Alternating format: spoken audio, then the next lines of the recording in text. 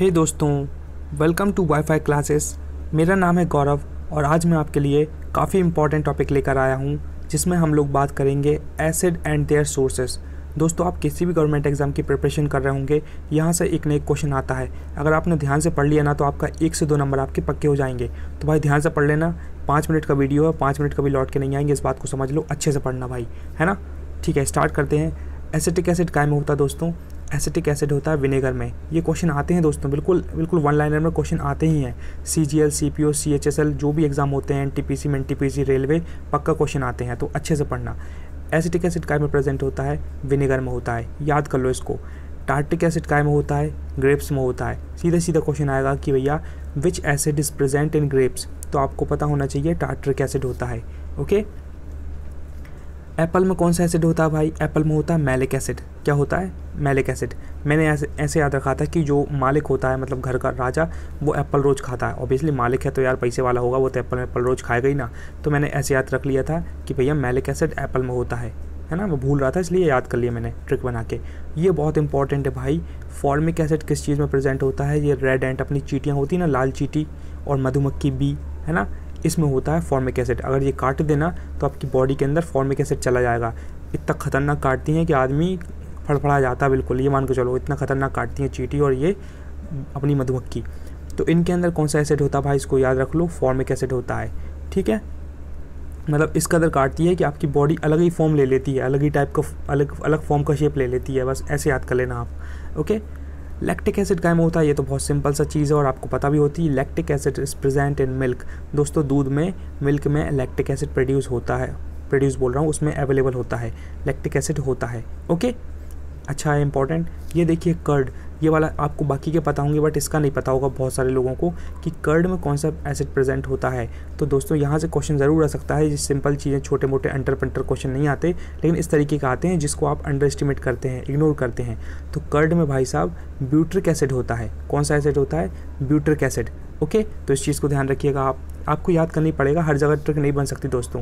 ये सिंपल है, ये तो आपको पता होगा कि लेमन में कौन सा एसिड होता है, लेमन में सिट्रिक एसिड होता है है ना? जो खट्टे फल जितने भी होते हैं ना, नींबू लेमन, नींबू को बोलते हैं, और भी मतलब जो भी खट्टे फल होते हैं, आप अपने हिसाब से सोच लीजिए, संतरे वंतरे, सब में सिट्रिक एसिड प्रेजेंट होता है तो बहुत ईजी और अच्छा है। लेकिन और इससे ये बता रहा हूँ मैं आपको कि विटामिन सी वाली चीज़ें आपको खाना चाहिए, खट्टे फल, ओके? अच्छे रहते हैं वो। ये इंपॉर्टेंट है भैया टी अपनी चाय में कौन सा एसिड होता है? इसमें होता है टेनिक एसिड कौन सा एसिड होता है? टेनिक एसिड आपको याद रखना पड़ेगा। टी से ये भी स्टार्ट हो रहा है, ये भी टी से स्टार्ट हो रहा है ओके लास्ट वाला क्या भाई साहब? ये बहुत इंपॉर्टेंट है। Oxalic acid is present in which substance या विच उसमें पूछ लेंगे कौन सी चीज़ में प्रेजेंट होता है? तो भैया, अपने टमाटर जो होते हैं ना, टमाटो लाल लाल है ना? लाल टमाटर खाएँगे, लाल काल हो जाएँगे। माँ, मुझे बंदूक दे तो पाकिस्तान जाएँगे। याद है बचपन में ऐसी कोई कहानी बोलते थे? हम तो बोलते थे, भाई, हमें नहीं, बाकी आपका नहीं पता। तो टमाटर में ऑक्जलिक पैसिड ऑक्जलिक एसिड होता है। तो इस चीज़ को ध्यान रखिएगा इंपॉर्टेंट है। देखो भाई, अब अपन ने पढ़ लिया, एक बार मैं रिवाइज करवा दे रहा हूँ, फिर बाद में दो क्वेश्चन पूछूँगा। पता चल जाएगा किसने ईमानदारी से पढ़ाई करी है और किसने फुल मनोरंजन करके अपना टाइम वेस्ट किया और अपने माँ बाप माँ बाप का टाइम वेस्ट किया और उनका पैसा बर्बाद कर रहा हूँ। सीधी बात, ठीक है? तो अब पढ़ लेते हैं भाई अपन आपस से, फिर टेस्ट होता है। एसिड और उनकी सोर्सेज की बात हो रही है। एसिटिक एसिड प्रेजेंट होता है विनेगर में ट्रार्टिक एसिड होता है ग्रेप्स में प्रेजेंट होता है एप्पल में कौन सा एसिड प्रेजेंट होता है? मैलिक एसिड होता है। क्वेश्चन पूछूँगा भाई, ध्यान से पढ़ लेना। फॉर्मिक एसिड किस चीज़ में होता है? रेड एंड और बी में होता है फॉर्मिक एसिड मिल्क में कौन सा एसिड होता है भाई साहब? लैक्टिक एसिड होता है। ठीक है? और ब्यूट्रिक एसिड काय में होता है? कर्ड में कौन सा एसिड होता है दोस्तों? ब्यूट्रिक एसिड होता है। नींबू में कौन सा एसिड होता है? सिट्रिक एसिड होता है। और लास्ट वाला देखो सेकंड लास्ट टी में कौन सा एसिड होता है भाई साहब? टेनिक एसिड होता है। और लास्ट क्या है? टोमेटो अपने टमाटर में कौन सा एसिड होता है? ऑक्सलिक एसिड होता है। अब मैं आपसे क्वेश्चन पूछता हूँ भाई साहब कि विनेगर में कौन सा एसिड होता है? और ग्रेप्स में कौन सा एसिड होता है? और कर्ड में कौन सा एसिड होता है? बताइए फटाफट कमेंट बॉक्स में लिख दीजिए। आपके आँखों के सामने दिख रहे हैं। इतना भी अगर नहीं पढ़ा हुआ है तो फिर जीवन खराब है भाई। ठीक है? अगर वीडियो पसंद आए तो लाइक कर देना भाई। शेयर कर देना, अपने बेस्ट फ्रेंड को, एक बंदे को शेयर करना भाई।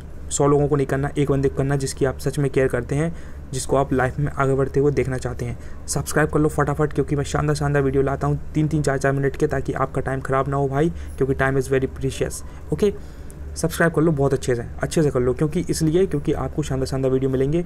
आप एक बार प्ले लिस्ट जाकर चेक करेंगे ना तो आपका जीवन का उद्धार हो जाएगा, क्योंकि मैंने शानदार शानदार वीडियो बना दिए हैं। हाँ मैंने अलोइस ओर्स ब्रेन और दुनिया भर के हॉकी में कितने खिलाड़ी होते हैं, इसमें कितने खिलाड़ी होते हैं। दुनिया भर के वीडियो बनाए हैं आप एक बार चेक कर लीजिए जाके, फ़ैन हो जाएँगे, फ़ैन, मैं बता रहा हूँ, और कमेंट किए बिना मानेंगे नहीं। तो भाई, अगर वीडियो पसंद आए तो बिल्कुल दिल से लाइक करो यार, दिल खोल के कमेंट बॉक्स में बोल दो क्या पसंद आया, क्या नहीं आया, कैसा लगा वीडियो, मज़ा आया कि नहीं, है ना? और सब्सक्राइब ज़रूर कर लेना, सब्सक्राइब करोगे ना तो बहुत इंपॉर्टेंट है। अगर सब्सक्राइब करने के बाद भी दो चार वीडियो देख लेना, अगर मेरे वीडियो पसंद नहीं आए तो डिसलाइक मानना अनसब्सक्राइब करना और आगे वीडियो देखना और किसी के, और किसी बंदे के, ठीक है?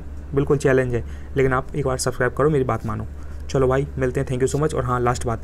पाँच से छः घंटे रोज़ पढ़ो भाई टाइम पास नहीं करना है। पाँच से छः घंटे रोज़ पढ़ना कंसिस्टेंट दो महीने, चार महीने, छः महीने, आठ महीने, दस महीने।